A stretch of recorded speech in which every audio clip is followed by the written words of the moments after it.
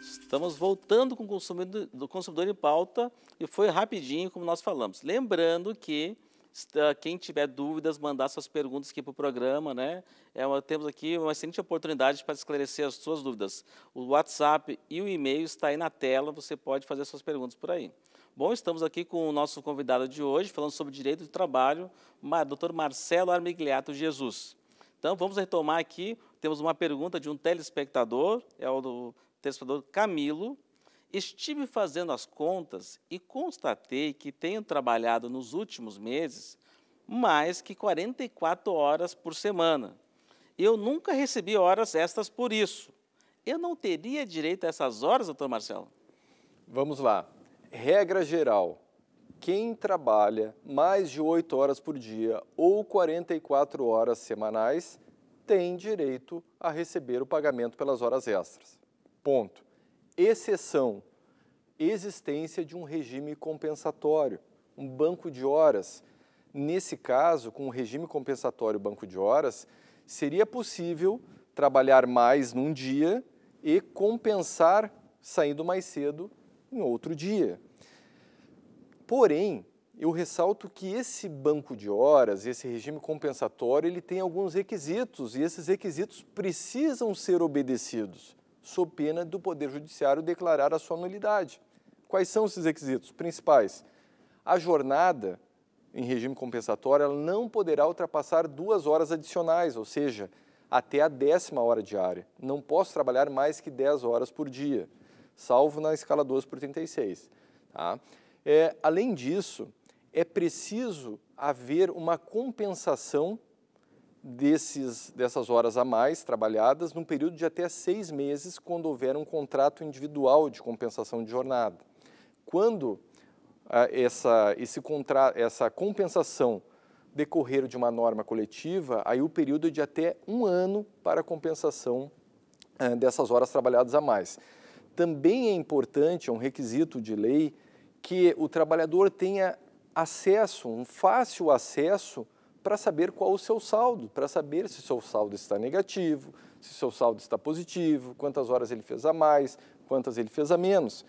Então, a lei estabelece vários requisitos para que o sistema compensatório, o banco de horas, tenha sua validade. Se o nosso telespectador ou qualquer outra, outro telespectador que estiver nos assistindo é, esteja trabalhando dentro de um regime compensatório que não esteja observando os requisitos legais, é possível ingressar com uma ação e pedir aí sim o pagamento das horas extras. Ah, então, bem importante. Tem essa questão da compensação, mas se, se, se ficar mais da, do, do, chegou o período e fez mais do que as horas contratadas, faz jus ao valor das horas extras. Exatamente. Nós temos vários requisitos na lei e é por isso a importância de, de repente, conversar com um advogado, um profissional que seja acostumado a lidar com essa situação de nulidade do regime compensatório. Bom, temos uma pergunta de mais uma telespectadora, a Ana Elisa. É, ela falou que ela trabalha, é, eu trabalho como uma terceirizada que presta serviço de limpeza em uma empresa. Acho que os produtos que nós usamos são fortes, inclusive o cheiro também é forte. Eu não teria direito de receber adicional de insalubridade, Marcelo? Vamos lá. É, o que define o direito, ou que regula o direito ao recebimento do adicional de insalubridade são as NRs, as normas regulamentadoras. No caso específico do adicional de insalubridade é a NR número 15. Lá nós vamos ter as atividades e a possibilidade de receber o adicional de salubridade, inclusive em qual grau, o grau médio, o grau máximo eh, ou grau mínimo. É, o que, que acontece? Normalmente, a pessoa que trabalha com limpeza, fazendo limpeza, ela, e em contato, por consequência, com produtos químicos, ela tem direito a receber o adicional de insalubridade em grau médio. Essa é a regra geral. Agora... O grau médio seria 20%? 20% sobre o salário mínimo, exatamente. Agora, se além dessa limpeza, ela faz a limpeza de banheiros é, públicos, de uso público, de uso coletivo, recolhe lixo, aí nós estaríamos diante da incidência da súmula 448 TST. e poderia resultar no recebimento de um adicional de insalubridade em grau máximo, e aí é 40% sobre o salário mínimo. Então eu diria para ela, na pior das hipóteses, você teria direito a receber adicional de insalubridade em grau médio 20%. E na melhor das hipóteses, se houver a limpeza de banheiros de uso público, uso coletivo ou recolhimento de lixo, aí sim poderia chegar aos 40% sobre o salário mínimo. O que, que vai definir isso? Um processo, uma perícia, o juiz nomeia um perito, o perito vai até o seu local de trabalho, vai fazer análise lá no local, ouvir a sua versão, ouvir a versão da empresa, ouvir os trabalhadores, as testemunhas, e depois ele vai gerar uma conclusão para o juiz poder julgar o processo. E aí, nesse, nesse laudo que ele elabora, vai ter lá no final a conclusão dizendo se o seu trabalho é ou não insalubre e qual o grau da insalubridade. Nesse caso, doutor Marcelo, ainda seria necessário ela estar recebendo todos os EPIs também, né? Exatamente. É, os EPIs têm fornecimento obrigatório. E muitos deles, eles são importantes, obviamente, mas eles não elidem por completo a nocividade do ambiente de trabalho. Então, uma, eu não posso pensar que eu, empregador, só pelo fato de fornecer os EPIs, estarei livre de, do pagamento do adicional de insalubridade. Não, não é assim que funciona. Bom, temos mais uma pergunta de um telespectador anônimo. Tá, faz, faz a seguinte pergunta. Trabalhei durante 15 dias seguidos sem folga no mês passado. Qual não foi minha surpresa quando recebi o contra-cheque? Ele não recebeu nada por isso. O que tem de cobrar da empresa por ter trabalhado sem folga? Seria hora extra? Sim.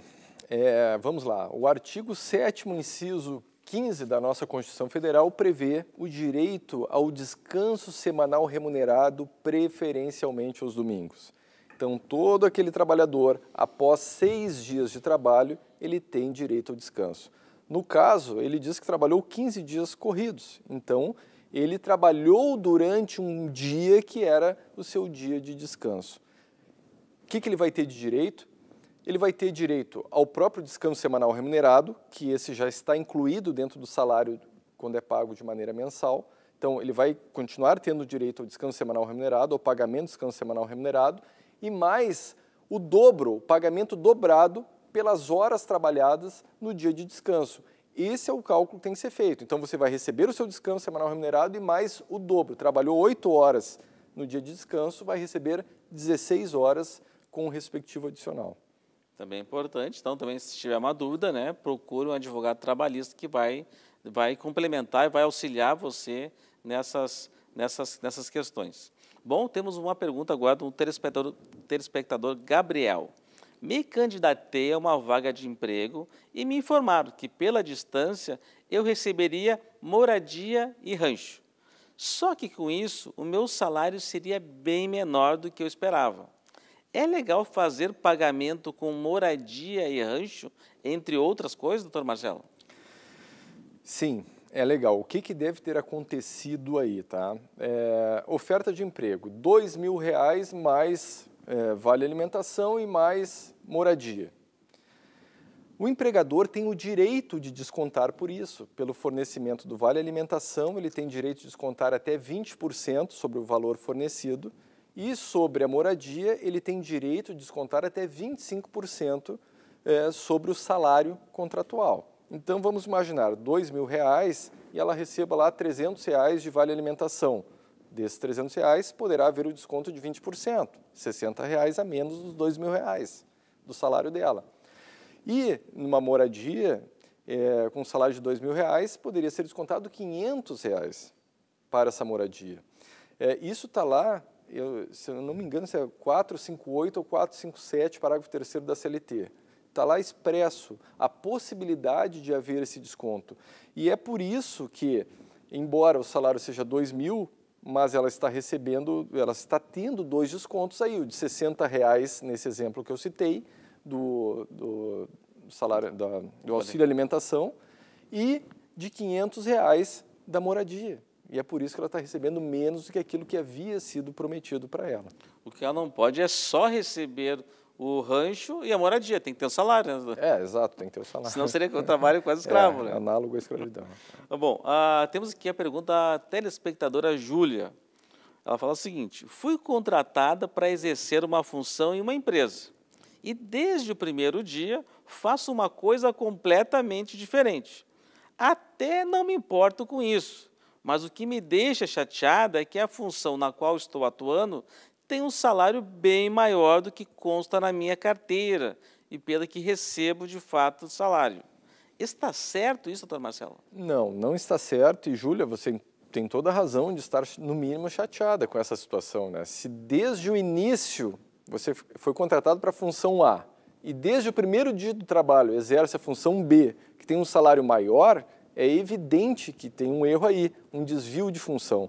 Então você poderá buscar esse desvio de função e receber o pagamento dessas diferenças salariais com reflexos, tanto em fundo de garantia, 13 terceiro, férias, é, no próprio descanso semanal remunerado, enfim, terá direito a receber todas essas diferenças porque nós estamos diante de uma irregularidade. Ah, isso é bem importante, né? Então, mas ela, ela, ela pode pedir isso trabalhando ou ela tem que pedir depois isso? É, essa é a grande questão, João Batista. É, eu tive uma professora que dizia o seguinte: o trabalhador durante o contrato de trabalho não tem direito nenhum. Ele só vai ter direito depois. Porque se ele for exercer o direito dele durante o contrato de trabalho, ele corre um sério risco de ser despedido. E aí esse é o problema. Bom, uh, estamos indo pelos nossos minutos finais, então, Marcelo, já estamos já estourando o nosso tempo. Queria te agradecer por mais uma brilhante participação, com esclarecimentos muito importantes para os nossos telespectadores. Né? Então, fica o nosso, nosso muito obrigado aqui pela tua participação e nos vemos amanhã, né, nos mesmos horários aqui no Consumidor em Pauta. Um grande abraço.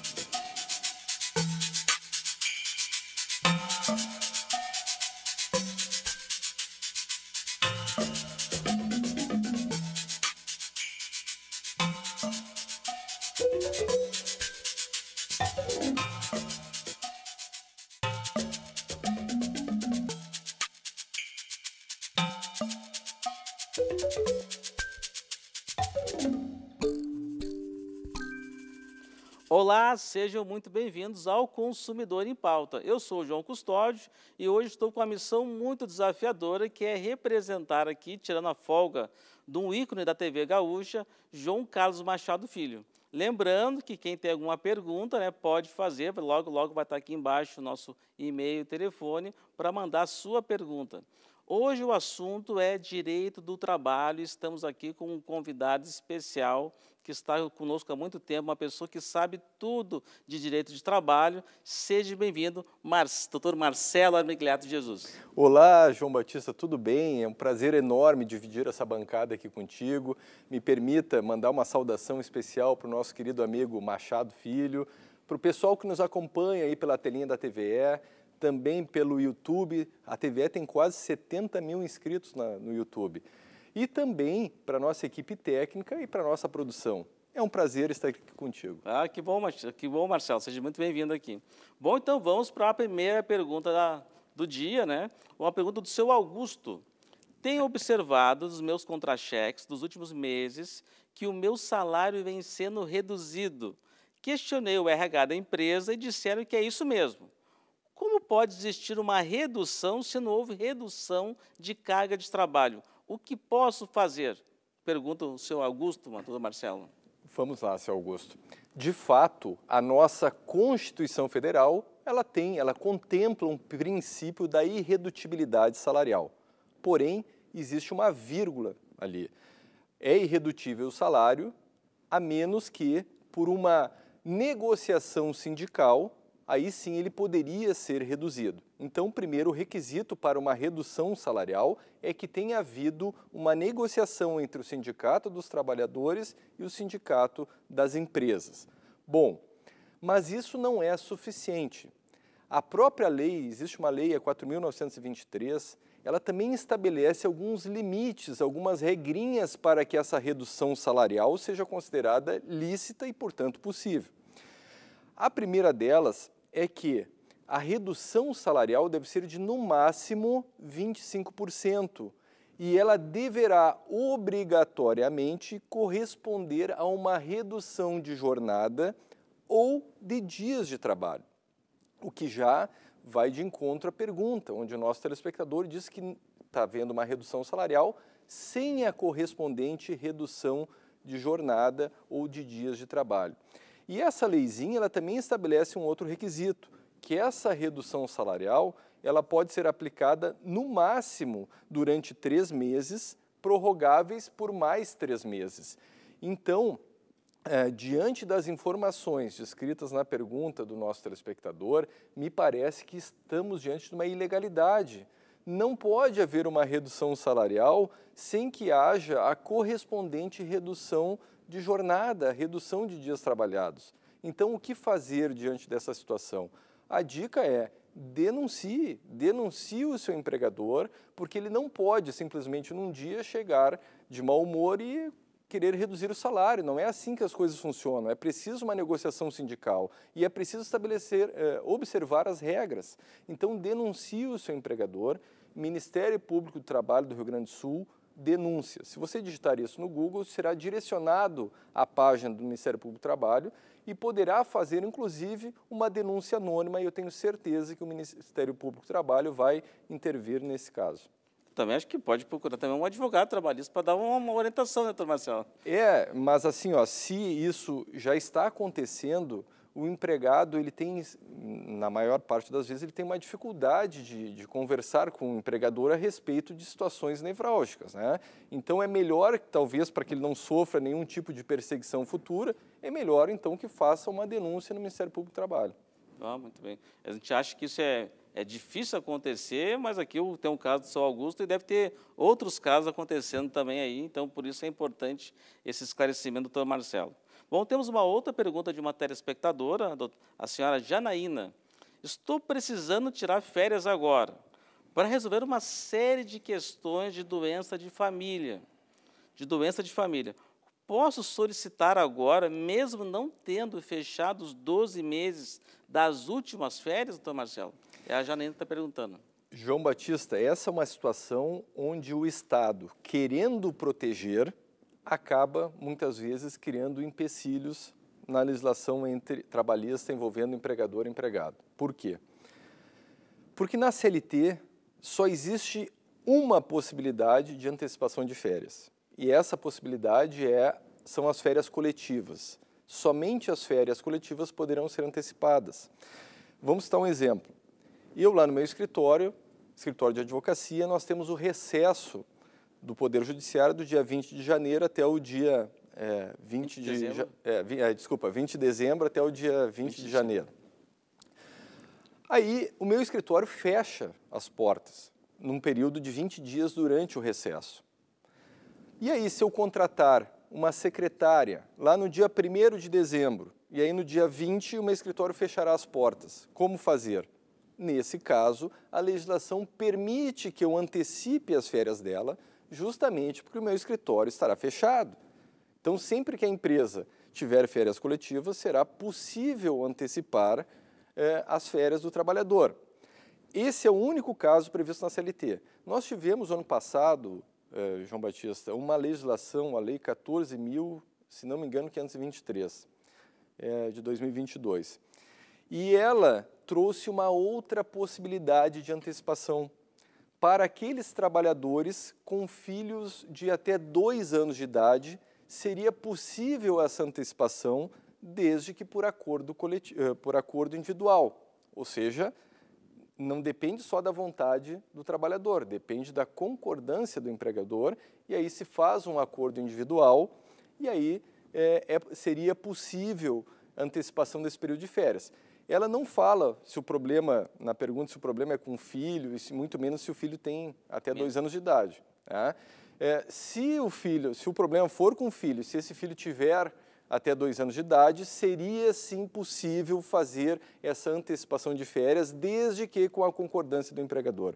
E aqui a gente ressalta, se na pergunta anterior nós falamos que faça uma denúncia no Ministério Público do Trabalho, aqui a culpa por não antecipar as férias não é do empregador, porque se o empregador fizer uma antecipação de, de férias sem a previsão legal, ele estará sujeito a uma multa do Ministério do Trabalho. Foi uma interessante essa questão da lei para de licença antecipada para quem tem filhos até dois anos. É uma, uma informação bem importante para os nossos telespectadores aí. Ah, bom, temos mais uma pergunta aqui do senhor Alexandre. Né? Há mais de 10 anos, a minha empresa paga parte do plano de saúde dos funcionários. Agora fomos informados que deixará de fazer isso e que, se quisermos continuar com o plano, temos que pagar tudo. Eles podem fazer isso, doutor Marcelo? Nós não ter, eles não teriam direito adquirido? Vamos lá. Não existe nenhuma lei que obrigue a empresa a pagar ou manter ou a conceder o plano de saúde a seus empregados. Não está na lei. Bom, se não está na lei, nós precisamos descobrir da onde vem esse direito, e isso será importante para a resposta a essa pergunta. Se esse direito vier do contrato de trabalho, se no contrato de trabalho estiver escrito que a empresa fornecerá o plano de saúde, esse direito não poderá mais ser retirado e não poderá ser modificado. Portanto, a empresa não poderá deixar de pagar a sua coparticipação se a origem desse direito ao plano de saúde está no contrato de trabalho. Ponto. Caso a origem desse plano de saúde esteja numa norma coletiva, aí nós teremos que analisar o que está dito na norma coletiva. Porque vamos imaginar uma norma coletiva lá de 2022 que diga que tem direito ao plano de saúde e a empresa fará a sua coparticipação. Ok. Aí no ano de 2023 veio uma norma, nova norma coletiva, os sindicatos negociaram, houve uma negociação entre o sindicato patronal, o sindicato dos trabalhadores e, ao final, tivemos uma regrinha nova na Convenção Coletiva de Trabalho de 2023, dizendo o seguinte: a partir de agora, as empresas poderão deixar de custear a coparticipação no plano de saúde. Se existir uma regra expressa nesse sentido, a empresa poderia.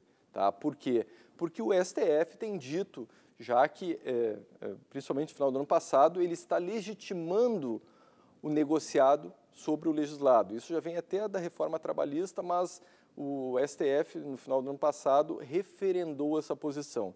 Então, é, só seria possível essa indagação do telespectador retirar a coparticipação da empresa se esse direito não estiver no contrato de trabalho e se a norma coletiva estiver prevendo exatamente essa possibilidade. Caso contrário, não pode. Não pode. Não. Bom, é, é um direito adquirido, né? Então, muito importantes esclarecimentos. Bom, agora temos uma, uma pergunta de um telespectador anônimo que não se identificou.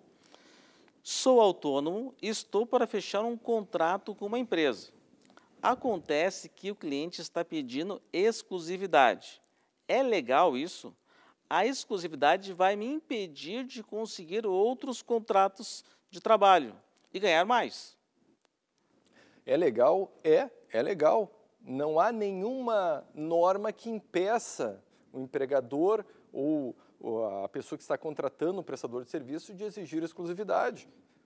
O que reflete isso é no valor do serviço, no preço. É, João Batista é contador, deve ter vários clientes, tem vários clientes. Aí eu digo, não, João Batista, eu quero que tu preste serviço de contabilidade apenas para a minha empresa. O teu preço, que antes era X, agora vai ser é, 100 vezes o X. Então, isso se refletirá no valor da prestação de serviço, mas não é ilícito solicitar uma cláusula de exclusividade. Era muito comum, inclusive, nos próprios eh, escritórios de advocacia, os advogados contratados com carteira assinada, eles normalmente possuem uma cláusula de exclusividade, prestação de serviço com exclusividade. Então, não há nenhuma ilicitude nessa cláusula. Ponto. Faço apenas uma ressalva.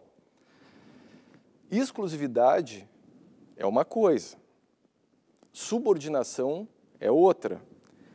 Normalmente, a exclusividade, quando ela vier junto com a subordinação, aí nós estaremos possivelmente diante de um nascimento de um vínculo de emprego. Se for só exclusividade, não tem problema. O problema é que, na prática, muitas vezes, quando eu exijo uma exclusividade de alguém, eu, quase que de maneira inerente àquela exclusividade, vem junto uma carga de subordinação incompatível com o trabalho autônomo. E aí nós estaríamos possivelmente diante de uma demanda com reconhecimento do vínculo de emprego futuro. É muito importante esse alerta aí. A conversa está muito boa, mas vamos fazer um rápido intervalinho. Já já voltamos.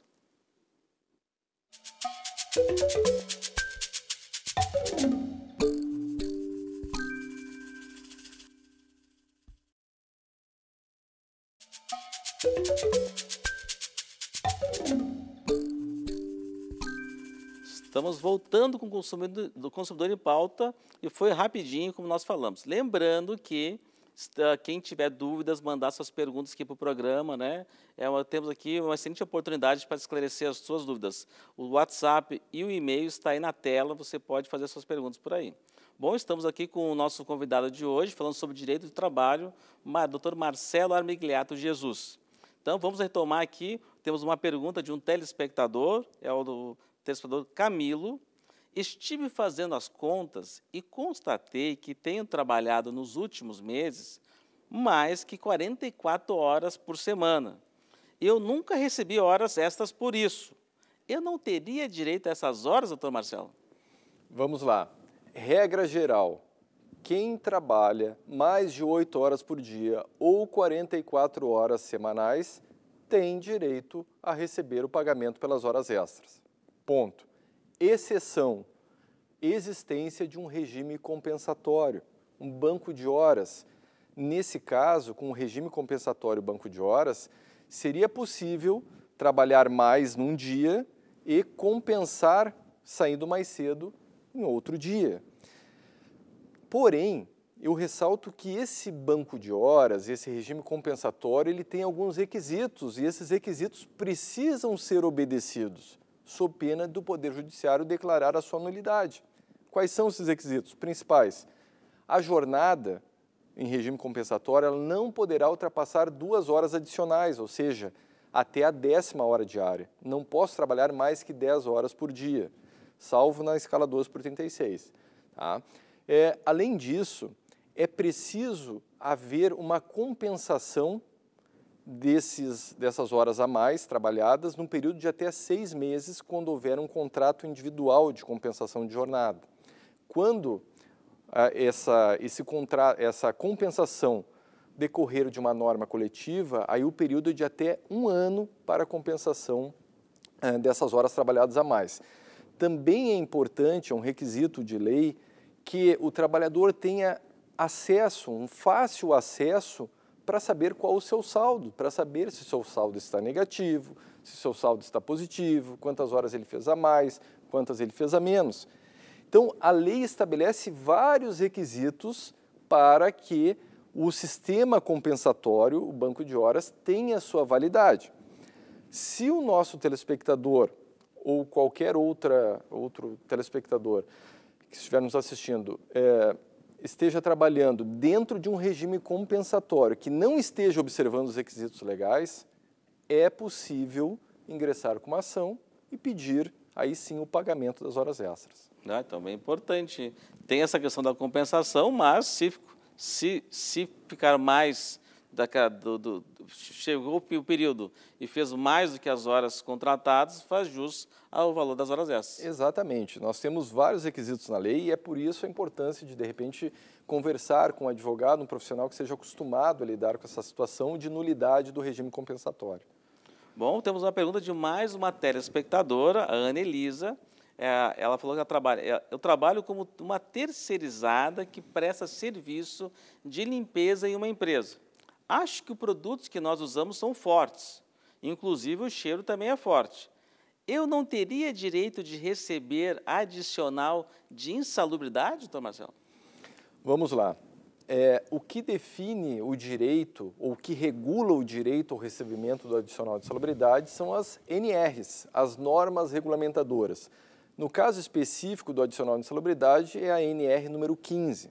Lá nós vamos ter as atividades e a possibilidade de receber o adicional de salubridade, inclusive em qual grau, o grau médio, o grau máximo eh, ou grau mínimo. É, o que, que acontece? Normalmente, a pessoa que trabalha com limpeza, fazendo limpeza, ela, e em contato, por consequência, com produtos químicos, ela tem direito a receber o adicional de insalubridade em grau médio. Essa é a regra geral. Agora, Doutor, grau médio seria 20%? 20% sobre o salário mínimo, exatamente.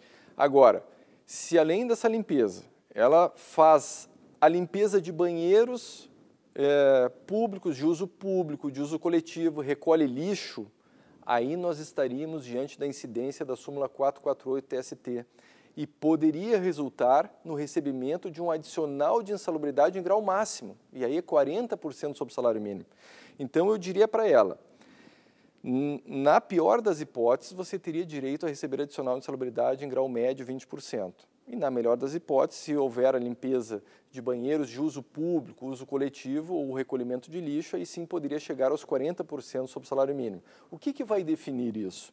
Um processo, uma perícia, o juiz nomeia um perito, o perito vai até o seu local de trabalho, vai fazer análise lá no local, ouvir a sua versão, ouvir a versão da empresa, ouvir os trabalhadores, as testemunhas, e depois ele vai gerar uma conclusão para o juiz poder julgar o processo.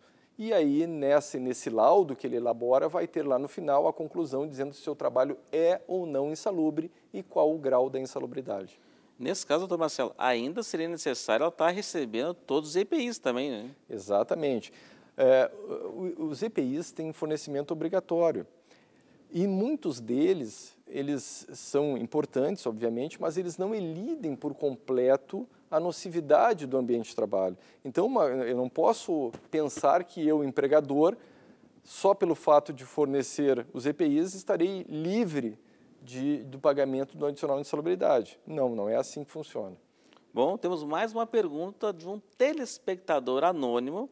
Tá, faz a seguinte pergunta. Trabalhei durante 15 dias seguidos sem folga no mês passado. Qual não foi minha surpresa quando recebi o contra-cheque? Ele não recebeu nada por isso. O que tem de cobrar da empresa por ter trabalhado sem folga? Seria hora extra? Sim. É, vamos lá. O artigo 7 inciso 15 da nossa Constituição Federal prevê o direito ao descanso semanal remunerado, preferencialmente aos domingos. Então, todo aquele trabalhador, após seis dias de trabalho, ele tem direito ao descanso.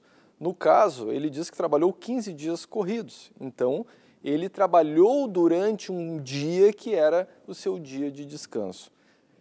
O que, que ele vai ter de direito?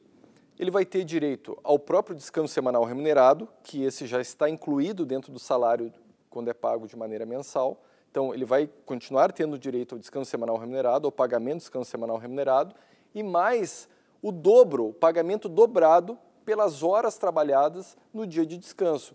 Esse é o cálculo que tem que ser feito. Então você vai receber o seu descanso semanal remunerado e mais o dobro. Trabalhou 8 horas no dia de descanso, vai receber 16 horas com o respectivo adicional. Também é importante. Então, também, se tiver uma dúvida, né, procure um advogado trabalhista que vai, vai complementar e vai auxiliar você nessas, nessas, nessas questões. Bom, temos uma pergunta agora do telespectador, telespectador Gabriel. Me candidatei a uma vaga de emprego e me informaram que, pela distância, eu receberia moradia e rancho. Só que com isso, o meu salário seria bem menor do que eu esperava. É legal fazer pagamento com moradia e rancho, entre outras coisas, doutor Marcelo? Sim, é legal. O que, que deve ter acontecido aí, tá? É, oferta de emprego, dois mil reais mais é, vale alimentação e mais moradia. O empregador tem o direito de descontar por isso, pelo fornecimento do vale alimentação, ele tem direito de descontar até 20% sobre o valor fornecido, e sobre a moradia, ele tem direito de descontar até 25% é, sobre o salário contratual. Então vamos imaginar dois mil reais e ela receba lá 300 reais de vale alimentação. Desses 300 reais poderá haver o desconto de 20%, 60 reais a menos dos dois mil reais do salário dela. E numa moradia é, com um salário de dois mil reais poderia ser descontado 500 reais para essa moradia. É, isso está lá, eu, se eu não me engano, se é 458 ou 457, parágrafo 3 da CLT está lá expresso a possibilidade de haver esse desconto. E é por isso que, embora o salário seja 2 mil, mas ela está recebendo, ela está tendo dois descontos aí, o de 60 reais nesse exemplo que eu citei, do, do salário, da, do auxílio alimentação, e de 500 reais da moradia. E é por isso que ela está recebendo menos do que aquilo que havia sido prometido para ela. O que ela não pode é só receber o rancho e a moradia, tem que ter o salário. Né? É, exato, tem que ter o salário. Senão seria o trabalho quase escravo. É, né? análogo à escravidão. Bom, uh, temos aqui a pergunta da telespectadora Júlia. Ela fala o seguinte: fui contratada para exercer uma função em uma empresa e desde o primeiro dia faço uma coisa completamente diferente. Até não me importo com isso, mas o que me deixa chateada é que a função na qual estou atuando tem um salário bem maior do que consta na minha carteira e pela que recebo de fato o salário. Está certo isso, doutor Marcelo? Não, não está certo. E, Júlia, você tem toda a razão de estar, no mínimo, chateada com essa situação. Né? Se desde o início você foi contratado para a função A e desde o primeiro dia do trabalho exerce a função B, que tem um salário maior, é evidente que tem um erro aí, um desvio de função. Então você poderá buscar esse desvio de função e receber o pagamento dessas diferenças salariais com reflexos, tanto em fundo de garantia, 13 terceiro, férias, é, no próprio descanso semanal remunerado, enfim, terá direito a receber todas essas diferenças porque nós estamos diante de uma irregularidade. Isso é bem importante, né? Então, mas ela, ela, ela pode pedir isso trabalhando ou ela tem que pedir depois isso? É, essa é a grande questão, João Batista. É, eu tive uma professora que dizia o seguinte: o trabalhador durante o contrato de trabalho não tem direito nenhum. Ele só vai ter direito depois. Porque se ele for exercer o direito dele durante o contrato de trabalho, ele corre um sério risco de ser despedido. E aí esse é o problema. Bom, uh, estamos indo pelos nossos minutos finais, então, Marcelo, já estamos já estourando o nosso tempo. Queria te agradecer por mais uma brilhante participação, com esclarecimentos muito importantes para os nossos telespectadores. Né? Então, fica o nosso, nosso muito obrigado aqui pela tua participação e nos vemos amanhã, né, nos mesmos horários aqui no Consumidor em Pauta. Um grande abraço.